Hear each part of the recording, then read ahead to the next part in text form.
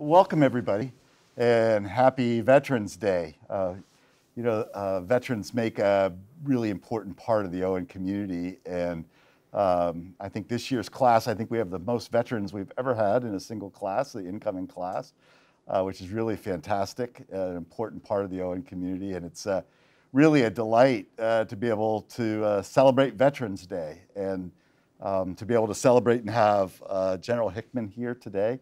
Uh, General Hickman's a 92 alum.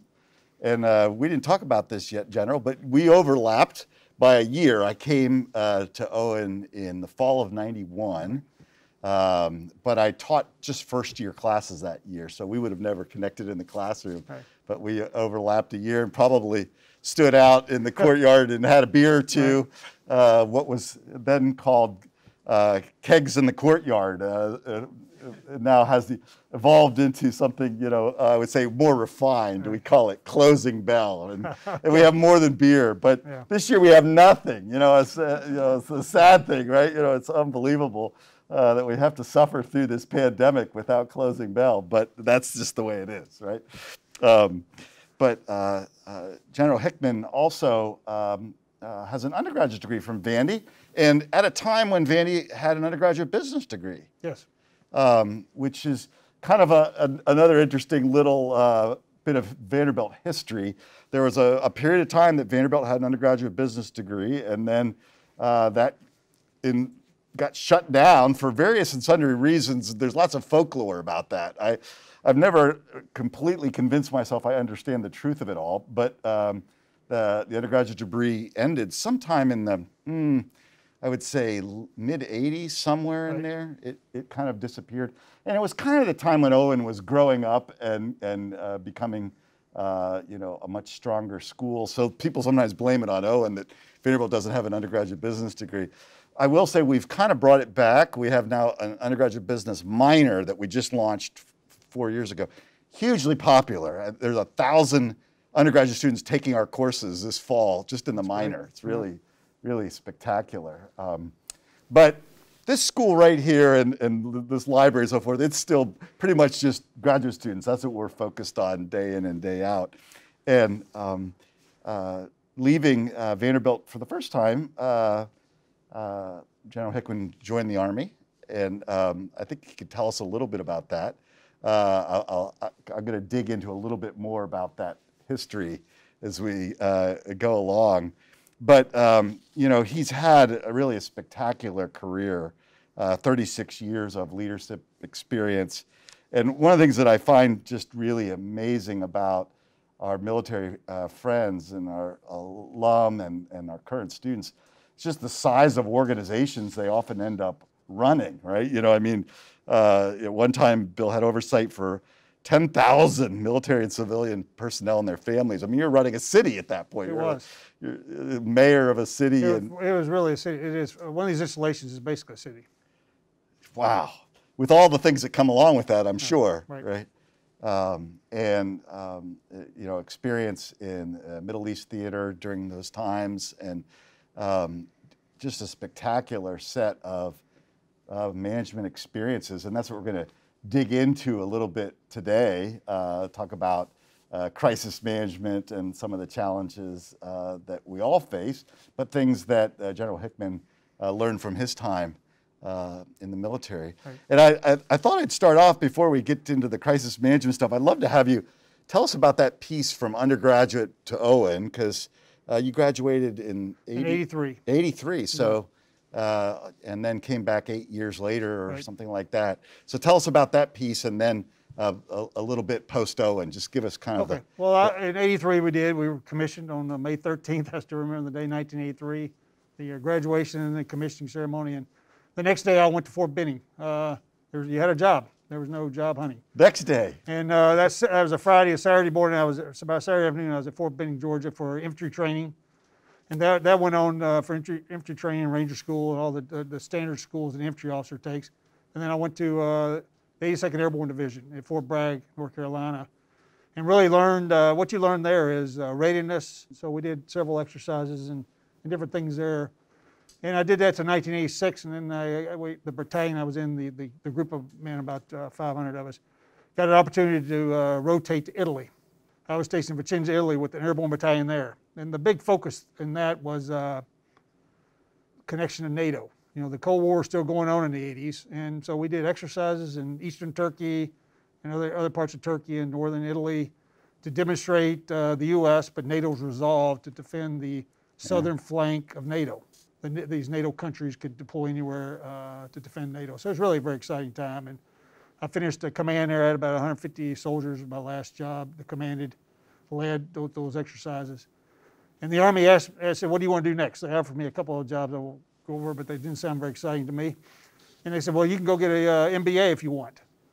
Uh, I said, good. I'll, I'll, get an MBA if I can go. And uh, they said, but you have to get it. You have to apply. Obviously, you have to get it. As I said, I told my parents I wasn't married at the time, but my wife's here with me. I, I said, I'm gonna come back. I'm gonna go to Owen, or go to another job in the army. I'm not gonna go to get an MBA anywhere else. So I applied, and luckily I was accepted and got to spend two years here. We had a great time. And that's almost coming home for you because you My grew up family's from- just down the road. And Yeah, I, I'd spent four years in Italy uh, away from home, and I figured, well, I might as well come back to Tennessee. And my family's from Columbia, which is about an hour south of here, and we had a great time. and- and And uh, and, and and we I, I do enjoy the basketball games, the football games, even though uh, we, it come ebb and flows here at Vanderbilt. But uh, uh, we had some good, some good years and bad years. I don't we had a remember great the, time. the fall of 91 being a particularly good No, no, the, year. the early '90s were bad. Uh, 1982, when I was a senior, we did we did Yeah. do we went to bowl game that year. So very exciting. So Yeah. so you just got to hit at the right time. That's great. Yeah. That's great. And then post Owen, back to the military. Yeah, back to the military. I did a couple of uh, jobs. Uh, really, I had to. Had to. My payback to the army was work uh, some uh, research and development type jobs, uh, developing new equipment for the army uh, at the at a, for the infantry. But anyway, that's what I basically did. But I had a chance to leave that and go serve in the Ranger Regiment, and so I did that uh, with the 75th Ranger Regiment, and then and then my career brought me to Fort Campbell four times, and so I had a, a great time serving with the Fort Campbell. By now, the wars are going on, and multiple tours in Iraq and Afghanistan, and and so it was it's exciting times. But I treasure the time for Owen, uh, and we'll talk about that in a few minutes. But really, the, the chance to get out of the Army comfort zone into another uh, culture and really learn a lot from that was really exciting. Well, we, we wanted to spend a little time just talking about crisis management Yeah. because certainly uh, you had your share of crises to Yeah. deal with managing towns of 10,000 military Yeah. uh, folks. Um, Well, if I could just, uh, if I could just, you know, appreciate the invitation here. Thanks. It is Veterans Day. It's a special day to be here, and my wife Mamie's here with me. I'm glad she was able to come down with me from Murfreesboro tonight. She's she graduated from Owen, uh, not from Owen, from the nursing school. Got her master's here from in nursing from uh, Vanderbilt, which is fantastic. And so we have a, we both really love this university. more than one Owen nursing couple over the years. So it is special to be here today. What I would, what I was hoping to spend about five minutes, kind of introduce crisis management Please. and some, and really give a, a couple of examples. You know, you have a crisis. The best best thing to do. People ask me what to do with a crisis is don't have it. Prevent the crisis. And so I'm going to talk about that for a few minutes. But the crisis come, and then what do you do at the end of this thing? And it's very exciting. I think I'm going to be a little uh, challenging and, and provocative here over the couple examples I have. It is Veterans Day, but I'm going to talk about problems, not about uh, how, how we did everything great, because we did a lot of great things, but I think we need to focus on a couple of problems here. So I'm going to give, uh, so I'm going to talk that way: pre-crisis, crisis, post-crisis. But I'm going to start in the middle of crisis in my story, and I'm going to give three examples, if I can, quick, quick, short examples, but where crises occurred. You know, in um, October 2015, uh, I was stationed in Kuwait, um, and I got a call. The, the U.S. military, the U.S. Army, there's a big crisis in Kunduz, uh, Afghanistan. That's a northern province. A lot of hard fighting was going on. And uh, one night, the U.S. Army soldiers on the ground called in a, uh, the U.S. Air Force, an AC, AC-130. It's an aircraft that, that fires very accurate fires to support the Army. And they ended up bombing a hospital, which is, this is a crisis occurring here. And so I was asked to go in and lead the investigation team. There's about 30 of us, uh, myself and two, one-star generals and experts from all the, all the services. We spent 30 days walking the whole ground. And what we found out is the, uh, what, what, what you learn from this when, uh, when you bomb a hospital for 27 minutes, but the soldiers didn't realize they were directing fire in the hospital. No, no American soldiers going to do that. The Air Force didn't realize they were shooting a hospital, but they were shooting a hospital and killed 40 people. And what you learn from this is uh, you know, there's poor planning, there's poor senior leader uh, leadership, complacency was going on. The aircraft crew, crew was not cohesive. Uh, we found out there were training deficiencies. The enemy did have a vote that night. They did things that uh, caused confusing and friction. Uh, we had intelligence failures, technology failures, uh, other type failures that occurred that uh, set up this terrible uh, incident, this tragic incident to occur. It happened in multiple layers of command, from four star, two star, colonels, lieutenant colonels. These are levels of command, as you can imagine, from the highest level in Afghanistan all the way down to the lowest level, uh, where you had major failures going on. But what, what, you, what you learn in this is um, it's not the second that the aircraft is firing. These, these failures started months, uh, weeks, days, hours, and seconds before the rounds were fired. And that, that's very important. Crisis, I'm talk, these are the type of crises I'm talking about, not COVID or, or, or a hurricane or a tornado. Sure. The, uh, that's one example. So I want to give two other examples. Uh, and, and the, the second one, I was in Mosul, Mosul, Iraq in 2003. We had two helicopters collide midair. And I was part of the operations section of our unit, so I was deeply involved in this. But if you go back and look at it, you know, there was a failures in leadership, there was a failures in understanding the environment changing, there was failure in understanding airspace management. I mean, there were several failures that occurred over time, and this is, these are tragic instances. There's, that's why I'm bringing them up trying to be challenging and provocative here. And when this occurs, you, uh, you don't, two helicopters just don't crash into each other in the middle of uh, the airspace in, in a military operation. It takes months, weeks, days, hours, minutes, and seconds before those two helicopters crash the angle of attack sensor was bad, but there were training bad, maintenance was bad. It took, uh, there were eight, a total of 89 factors that were failed. 89 different things failed to get that airplane to crash and kill 189 people. And it was Boeing and it was um, the FFAA, there was a maintenance facility in the United States, pilot training, Lion Air itself had problems. The pilots who flew the plane the day before had problems with that plane and they didn't report it correctly. It took months, weeks, you know, days, hours, and seconds to, for an airplane to crash. It just didn't. It just wasn't just happen. one thing. It wasn't- doesn't one thing. There's a chain of things you look at. These are crises that go across. We want to prevent a crisis so we can do our mission. Because when crises happen, it just it just that's the focus.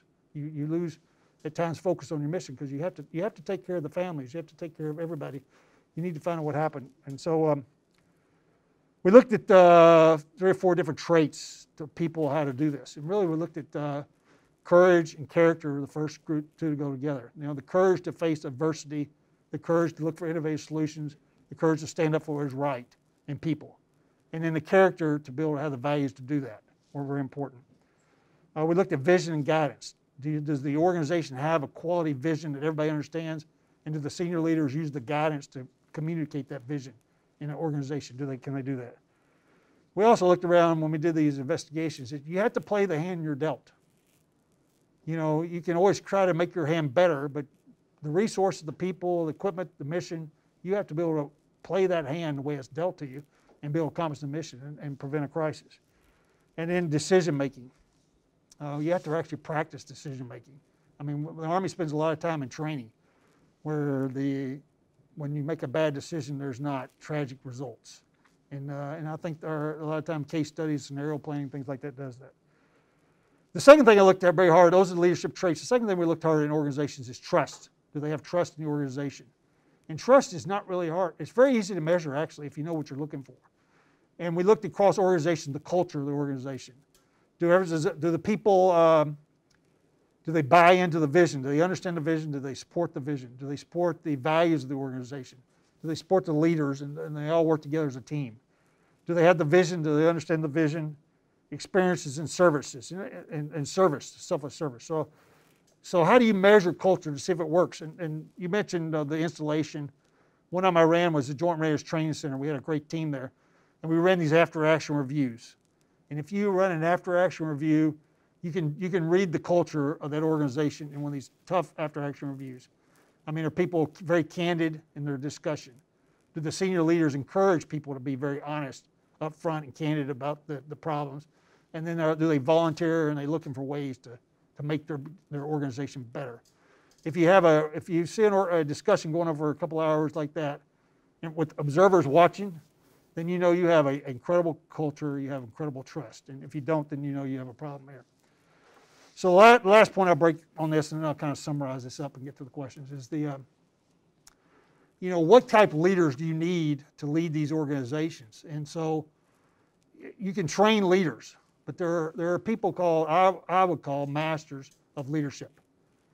You know, we have concert pianists. A lot of people can play the piano, but only some people can be concert pianists. The ones that spend thousands and thousands of hours perfecting their skill and their craft. I would say leaders are the same way. There's lots of good leaders out there, but there's only some that are going to spend the hours and hours, the thousands of hours required to be a master at leadership. They have those intangibles, like a concert pianist has. And so those are the people you're looking for to run your organization, to be at the senior levels. And, and then they will help prevent crises. And the ideas we're talking about here, there's four things I think a master leaders person, leadership person has. Number one, they're dreamers. And I read an article that in uh, off LinkedIn somebody wrote. They call it applied curiosity. But you're you're looking the future. You're looking. You're uh, you don't accept the status quo. You're uh, you have an infinite learning curve. A master of leadership is always looking to learn something new every day. But you get, you see some everybody says that, but some people are doing it in every. I'm I'm learning right now how you learn things. You get your organization to a band of excellence, and you don't accept leaving the band of excellence over time, over months and years. If your if your organization dips because the environment changed, then you're you're really not a master of leadership. You're asking lots of questions, gathering information, and you and your team are building new knowledge. That's critical. And then the insights and the patterns.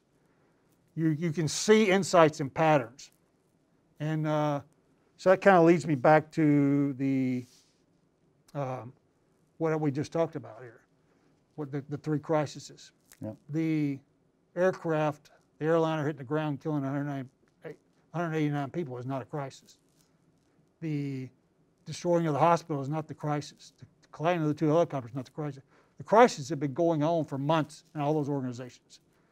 You just, the indicator that you finally observed was this tragic event. The outcome. The outcome of, if this tragic event had not occurred, the crisis would have continued. Because the crisis occur a lot of times, but you don't have a tragic outcome, so a tragic event, so people just continue to doing the same thing over and over again. And so that's kind of the point I wanted to bring out there. And as we go through our discussion, is uh, you know how do you prevent crisis? It's, it's, it's before the crisis, not after the crisis. We can talk about after the crisis too if we want to, but but I think that's so critical. You have to have these masters of leaders in your organization that really have these intangibles because they're and they're really they're not born with them. They're just people who just have the drive. They're, they're willing to spend the, spend the tens of thousands of hours to be a leader, where good leaders don't have to spend that much time. If that makes mm. sense. But but I think uh, I'll stop there because I know we want to kind of get a discussion well, going here. Uh, you know, I, I, it's really fascinating. You're talking about this chain reaction of events and and um, and also knowing that you know you're always going to be dealt some hand, right? right? In in your own teams that you had, were there people that you knew? I can put this this person in to a situation that's not perfect. That, that maybe they don't have the right culture, or they don't have, they haven't taken these steps, but but this particular leader is going to be able to go in there and diffuse the bomb, as it were, right? You know, try to to to right the ship or whatever metaphor we want to use, right? Right. You, you do that, and you, you want to learn that as quickly as possible, but you have to do that through difficult, through shared difficult experiences. And so, the Army had a uh, there was a very fast, uh, up tempo, fast pace, and especially as we went from 2001 through 2011, it's still fast for some units. Where you would deploy for uh, 12 to 15 months, come home for 12 to 15 months, deploy again. The soldiers were going back and forth to Iraq and Afghanistan. But you, but then those windows of being back here, you would go through very difficult training experiences, and through shared experiences, you would you would build trust between each other, and really understand the capabilities of each individual, and then you could really you could you could determine who you, who could sign for what mission, what task. But what were the uh, I guess the features of someone you would put into a situation that you knew was more volatile or well well they had to be uh, they had to, they, number one they had to understand the vision of the organization what we were trying to do there was uh, in iraq there were some commanders really understood what uh, especially when the surge was going on at Jumbo Tres there what we were trying to do others would go to these deployments and, and be very lethal which was not the answer. You wanted, you had to have a, a mix. You had to be, you had to be strong, but you also had to be understanding. So if they understood the vision of what the organization wants to do, and then to go in one of these crises, they had to be calm.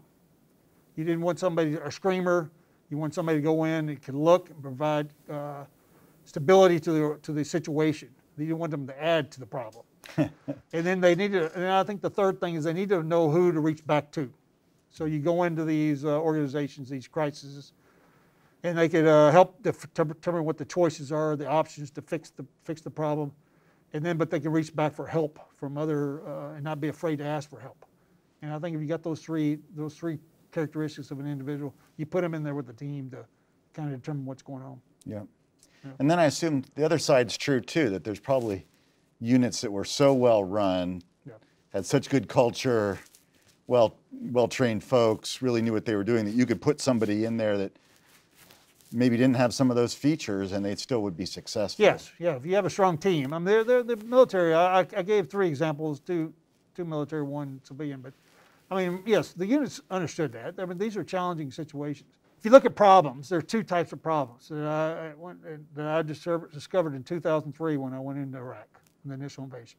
You have complex problems and you have complex ill-structured problems. complex problems to me as a computer. I'm sure there are many people in this building that know how to put a computer together and how it works, write code and do all those things. I, I don't understand that. But I know every time I push the A on my keyboard, A comes up on the screen. It's not ill-structured. It's complex and it's structured. The complex ill-structured problems we found are, are, uh, are people. Uh, every time you engage somebody, you come back and engage them a second time, it's a different engagement. You push an A and you get a Z or something. And that gets compounded when you're uh, in different cultures. Yeah. And I know the Vanderbilt campus is very a very diverse campus, but everybody to get in here had to go through a very rigorous screening process.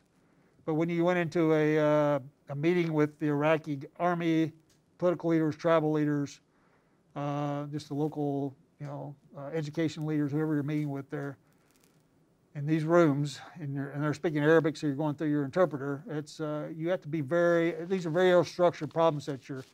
And what I, what I learned there was being very conscious.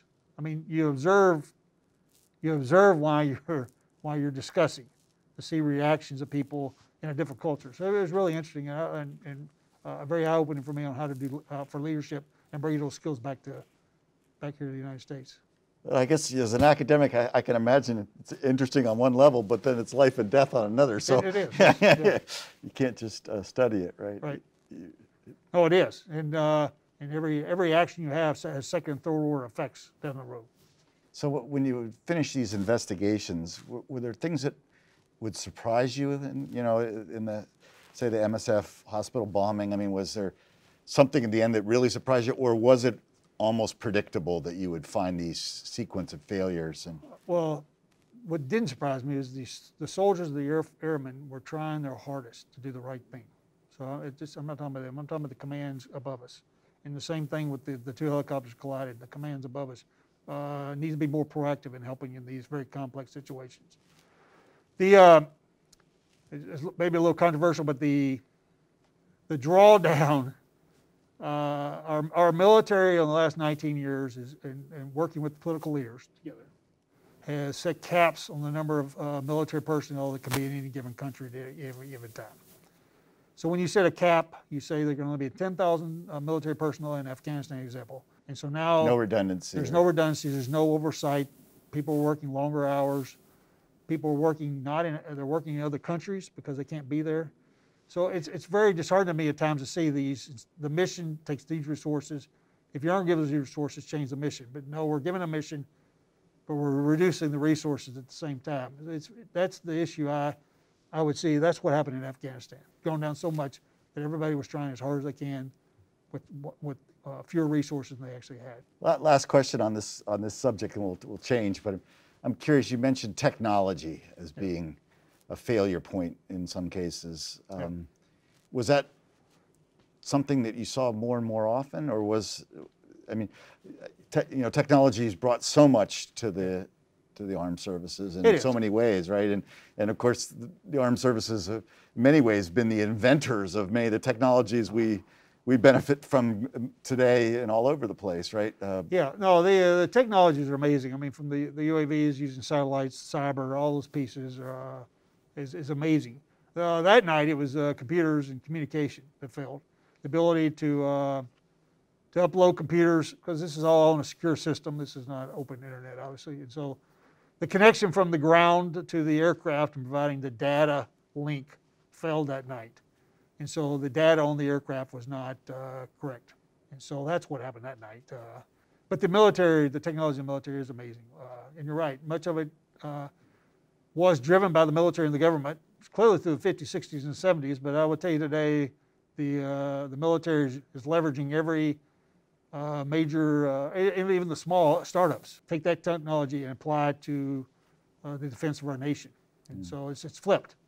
It's not the government pushing the technology, as you know, sir. it's It's, bringing a lot, bring, it's bringing more from the civilian world. It's coming into the military versus Yeah. the government driving. which is good and bad, I understand from my friends at DISA, right? You Yeah, it is. It's very difficult. Uh, Yeah. yeah, right. It's hard to hard to protect that. Yeah. Once once it comes over the uh, into the government side of the house, it's, it's very hard to protect at times. Well, let's change the subject and talk a little bit about change because uh, certainly uh, along your career you had to do a lot of change management. Yeah. Um, and I think every organization struggles with that. Doesn't matter uh, what business you're in, uh, everyone's working through difficult changes. I think this year's been a case study in change management. Um, what strategies have you learned along the way? Well, I, I can I can tell you three examples. I think you have to apply the strategy obviously to the situation. But uh, one, one, one organization I joined was having uh, problems. Uh, you know, they were a good quality professional organization, but we needed to change the the, the uh, organization. There's about 4,000 soldiers, but you could put arms around it. You could isolate it off and change the organization the way you wanted to. The team could. And so what we how we did it, we did three three things we focused on. We focused on the vision. We got we figured out the vision of our organization. We got buy-in across the uh, organization. Everybody understand. Okay, we understand this vision. It's simple to the point. and we use the vision to drive decision making. If someone brought a decision to me, uh, asked me for a decision, and it had nothing to do with the vision, then I said we're, we're wasting our resources on this decision. Why are we deciding this? Because it has nothing to do with what the unit does.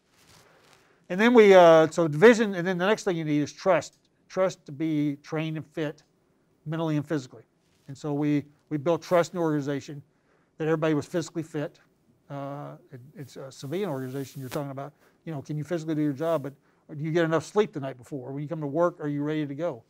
And then mentally fit. Are you mentally challenging yourself to understand the mission, your job, your profession? And then we got trust in that everybody took that on themselves. But the one, no, the world's not perfect. Not everybody does that. And so you wanted peers. You want peers to police each other. If you're if you're getting peers saying, "Hey, you, you came to work today, you weren't ready, or you, your physical fitness is not ready, or you didn't look like you didn't get enough sleep last night," what you're you're degrading our performance today because you didn't take care of yourself last night. If you got peers doing that, then you're you're doing fantastic. And then we and then the third one is power leaders to make decisions at the appropriate level. And if you can do that, then you now people will get more buy-in to the vision, then more understanding of the vision, more trust, more empowered leaders. And if you can get that uh, spiraling upwards, it is an amazing feat to watch an organization that's Kind spiraling of a upwards. virtuous uh, It just cycle. they, they feed on each other. It, it- more empowered leaders means more better, uh, better understanding of the vision, better trust.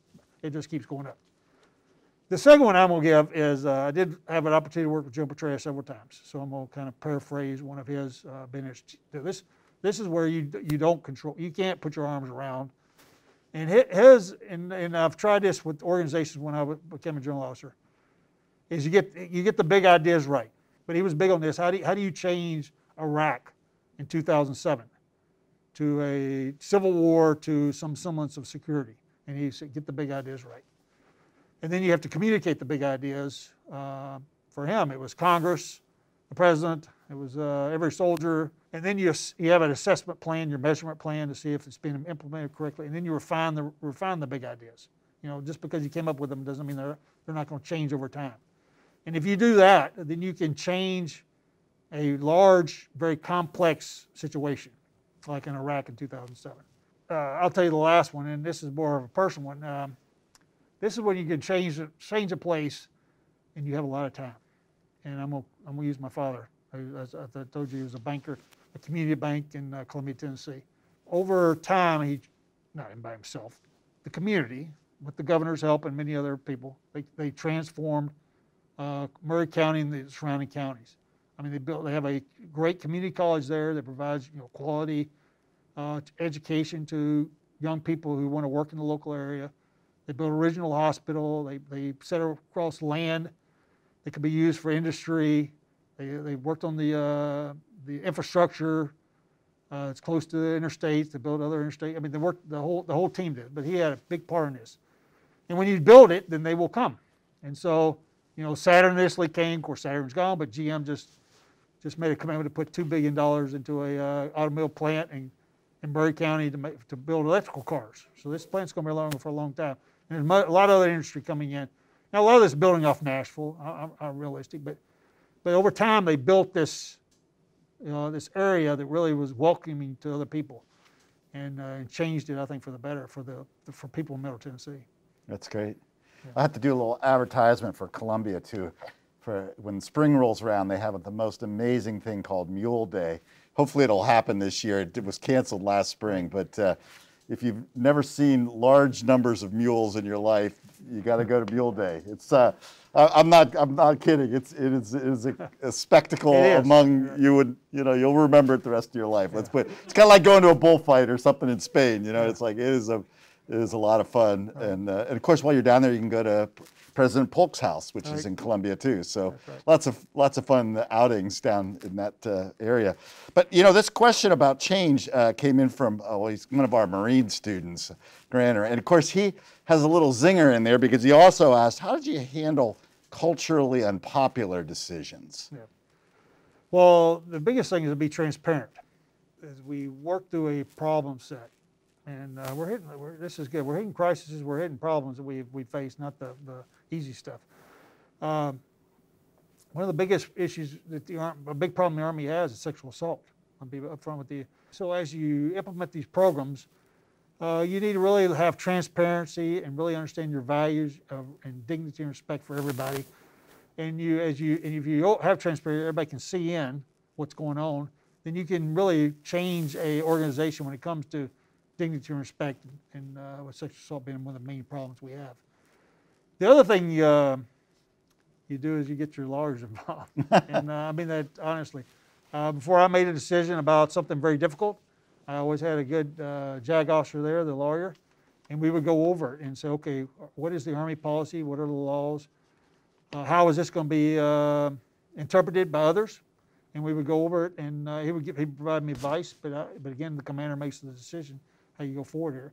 And if you do that, so that make sure you stay within the uh, what the Army expects a commander to do, but then remain transparent. Uh, you can you can take on the hard issues. That's great. Uh, good, good advice for any any manager. Doesn't matter I what. would, I in your business, it would, a larger business has their own uh, Yeah. in-house Yep, lawyers. You would yep, always talk to them. Yep, yep.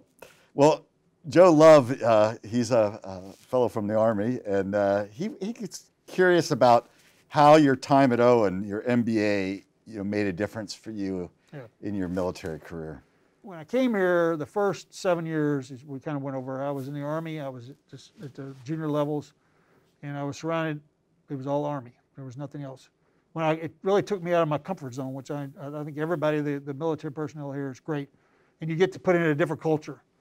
Uh, and you wear civilian clothes for two years, which is fantastic, and you really just del- delve into other problems. And so I thought that was huge. So when I went back, I was uh, accustomed to not just working at the Army solution, but th- there are other ways using diversity of ideas, diversity of experience, diversity of people to look at other ways of problem solving. And so that was the biggest thing I learned there. And um, you bring a team of, of diverse people together to solve a problem. And so I took that back with me back in the Army. It's not just all about the Army, it's about getting different ideas together. And are there things you think you would learn here that you wouldn't have learned in the Army?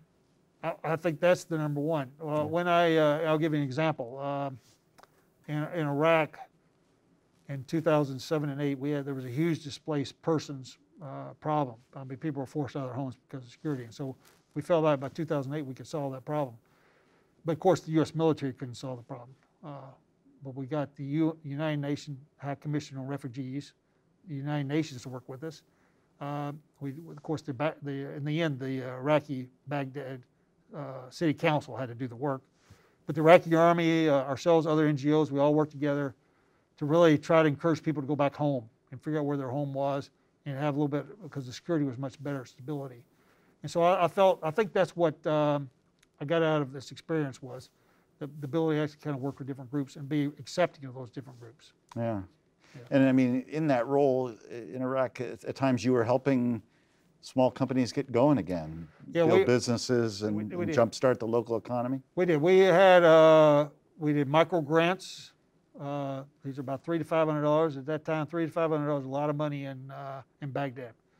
And you could give a store owner three or five hundred dollars. You get the store owner could buy the basic uh, items for his stores to stock the shelves.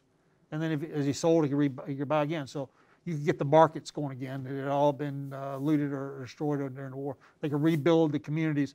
And if you get the markets together, it was amazing uh, to go down these streets by the summer of 2008. Then the ice cream stores opened, and then you see families on the streets at 8 o'clock at night, uh, enjoying you know what they want, you know, taking care of their families, enjoying being outside, where you could not have done that earlier in the in the conflict. And so you, so that's what the stores do. The the, the social environment starts again. We also use uh, NGOs, non-government organizations. We didn't do it all ourselves because we didn't want to. And most of the NGOs, these non-government organizations, were actually Iraqis that we that were vetted, and we give them small amounts of money, and then they would go. One of them uh, set up a, sew, a sewing school in a building, and they would bring in the, the uh, in this case the Iraqi women would come, but they would teach them how to how to sew and, and make clothes. Uh, you know, for the younger generation, it, through these wars, it lost. You know, this this part gets lost when you have the conflict. You know, the, the basic things that are passed down from generations. And that's that's one example. We ran a computer camp for the uh, kids. You know, we looked around and said, okay, it's summertime. There's no school, so we got an NGO and ourselves. We set up this computer camp, and we we, we got one of the schools. It was kind of neat to walk around and see this, but to, to encourage to get the uh, get Baghdad going again. That's fun. Entrepreneurship. uh, Yeah. That's great. Well, um, you know, one of the questions that came in is, you know, what should businesses be looking for when they're hiring veterans? The veterans are, uh, are going to bring leadership skills, though, and, and their values and their selfless service with them. I think the biggest issue we have with our veterans being hired today is uh, a lot of them come out and they, they really don't understand what they want to do. You know, they, they boot around different jobs, they accepted the job, and they've given themselves to that, that position, that responsibility for two or three years, and they go to another uh, position. So we, on our side, need to do better in uh, uh, helping our soldiers as they transition out to understand what they want to do in the future. And then our employers, uh, I actually talked to a, uh, one of the healthcare companies today, their veterans event, and this question was asked in a different way.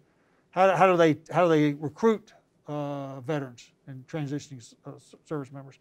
And I, I told them the, the what I would ask them questions is, um, give them a problem, and then say you're the follower on this team. What are your actions? What are you going to do to help the team succeed as the follower, as a member of the team? And then give them another problem. Say, okay, now you're the you're the leader of this team, and you have these five or six people, with diverse experiences together. What are the actions you're going to take to help solve this, lead the team to solve this problem? And that's how I would I would encourage our uh, businesses how they how they re- recruit, how they would interview someone from the military. the big the issue of the military is they're they're not used to using the word I. And so uh, it's all about the team. So you'll ask the, ask the sergeant what he did. Well, I was on a team that did this. And a, a business uh, a business wants to know what are you going to bring to our team. Yeah. There's and as I told the healthcare company, I said I understand there's probably no I in the team. Once you're on your team, but you want to know what I'm going to bring to your team if you hire me. Is the way to look at it. So it's, it's interesting. That's great. Yeah. Well, Craig Cuphall, he asks a tough question. He, he's, he's curious about what you think that some of the biggest uh, threats to civilian military relations uh, today, and, and what would you do to, to, to address it? You know, the U.S. military, uh, when they take the polls, is one of the most respected uh, institutions in the U.S. Uh, much better than Congress. But um, the U.S. military has to protect our relationship with the U.S. with the American people because our soldiers are young Americans. Young men and women come from the American people. So the biggest concern I have are two things with this. Um, is that the, we do not become, the military and our veterans don't become uh, too open or too um, dependent on the government, if that makes sense. We don't want to look like we're, we deserve all these big benefits. Uh, uh, Many of our veterans do, don't get me wrong, but we don't, we don't need to have the appearance that we're, uh, we're taking more than we deserve. Does- that make sense? Okay. And then the other one is, uh, the one that really concerns me the most in the last uh, year, is I I tru- truly do believe senior leaders in the military uh, should, should stay apolitical, uh, unless they're going to actively participate. You know, if they want to, if somebody wants to run for Congress, that's fantastic. If they want to serve as the, in the uh, Department of Defense as a uh, political appointee or as just a, uh, a government employee, I think that's fantastic. But if you're sitting at your home, I think you are you're, you should remain apolitical. Our our nation is too divided today, where you have these large numbers of general officers on one side say I support this side, and another very large number on the other side. They were both sides this time. Say I support this side. I think that does nothing to uh, assist our nation in coming together. And so I'm concerned that when they do that, they're now dividing our military up as our nation is, and our military needs to stay focused on the American people as a whole. Challenging times in that regard. It is. and, uh, and I think we can make our way through this. I think Yeah. our nation can. But the, the military's mission is not to uh, divide itself also. Yeah. We have to stay as a united force for the nation. Well, I've got lots more questions, but want to also put it out to all of you and questions that might come in over Zoom. Um, anything you want me to uh, read from Zoom, or I'll, I'll, I've got a couple more here, right? That, uh, but I want to make sure we're getting any questions that are coming in as we go. Feel free to drop them in. But you know, uh, one of the questions that we had come in beforehand was about leadership at the strategic level versus kind of tactical or operational level and kind of how you think about that and the skills and attributes that you need to develop to kind of move levels. You know, there, there are textbook answers about tactical, operational, strategic level. I, and I thought about this question many times. To look at it in very simple terms. The tactical leader is looking down. The- tactical leader is a small group leader, whether it's in a business or in the military.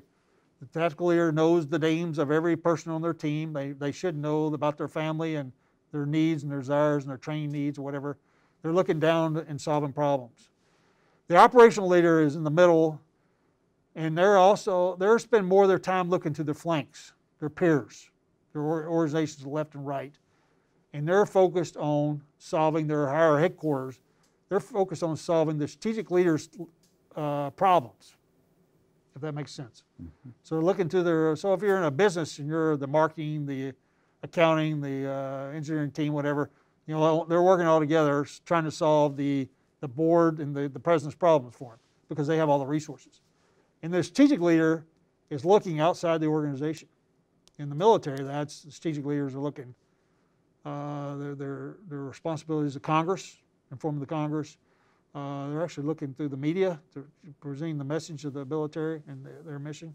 They're looking at their allies. They have to work a lot with their allies, our allied, our allied na- national political leaders and allied uh, military leaders to make sure they remain committed to the uh, U.S. mission. And then they're working with the, uh, the other services also in the joint community. So they're really looking out in, in many different directions. That's why they need the operational leaders to help solve their problems. And there's different skill sets it takes to be able to, to uh, lead at those different levels. And if you're thinking in your own career you want to move into those other levels, what are the kinds of things you need to do in developing skills? Well, you need to, you, there's the formal education piece that the military has. I mean, when you're a colonel, you're allowed, you're uh, selected uh, through a selection process to get another master's.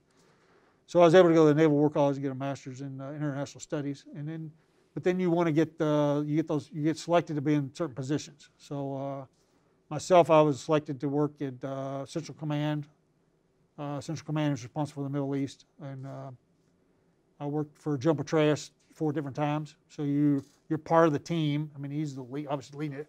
You're part of his small team that's uh, looking out in those many different directions. And so then when it's your turn, uh, my mission when I was in Kuwait, I was the uh, forward deployed two star there. And uh, so I spent a lot of time meeting with our allied military leaders, some of the uh, U.S. ambassadors in the different countries, and then um, to really shape the uh, Middle East uh, in accordance with the, the U.S. national interest, but really the U.S. military interest was my piece of that. So you get those jobs as you go along until you move them yourself. Yeah.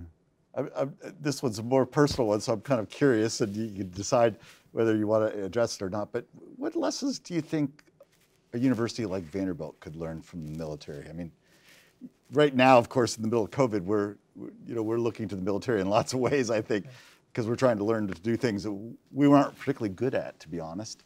Um, but but even in more in general, I think there's there's things that we could learn. I'll tell you the lesson I think the military learned in 2003, and I think we got better at, and, and I'm not sure how the university does.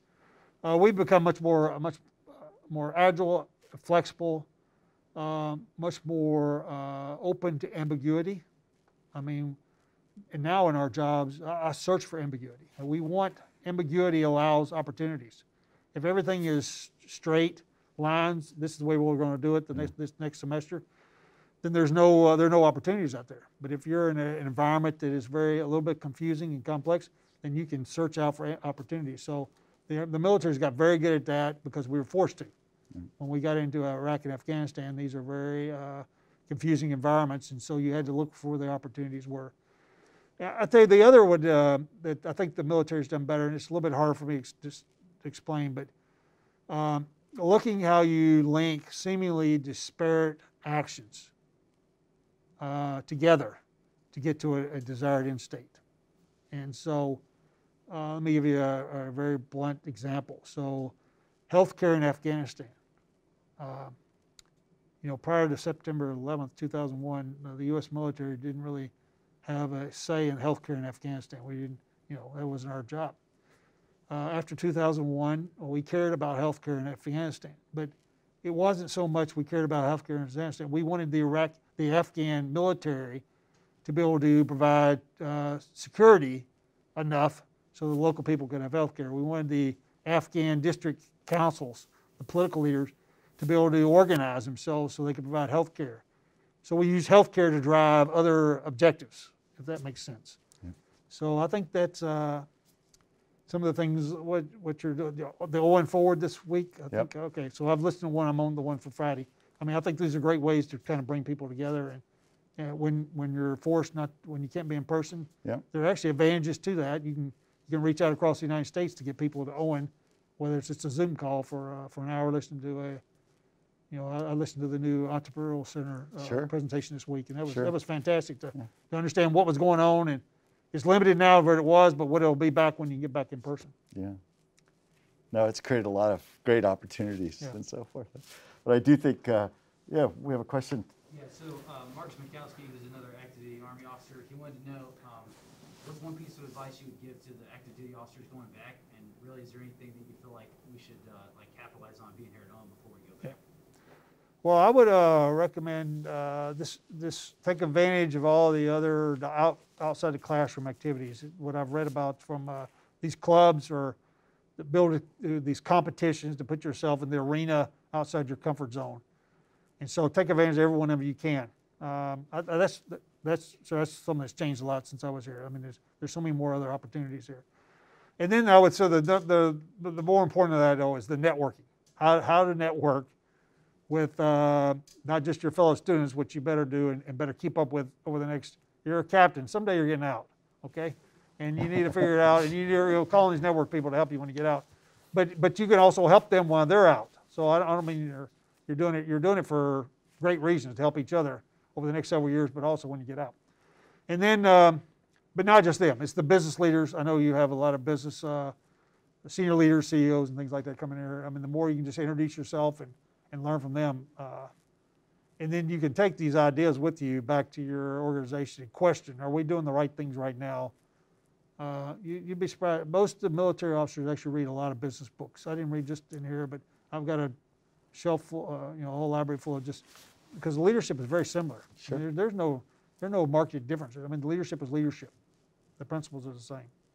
But it's, it's, it's certainly one of the things that we, have been thinking about a lot, you know, this fall. Um, you know, I think universities are good with ambiguity. I think we do a, a, good job of, of living with ambiguity, and sometimes we drive our students completely crazy with that, right? Because they just tell me the right answer. And you know, you know, particularly at Owen, right? A lot of the, a lot of the class dis- is discussion and and looking at problems from lots of different angles. And there isn't always just one right answer. There might be, you know, ten ways to get to the to the solution or whatever. And so we're we're good at that. Um, but you know, I, I think you think back at, uh, you know, if I were in the 1940s, I'd be hel- helping to, you know, get 18 year olds ready to storm Normandy.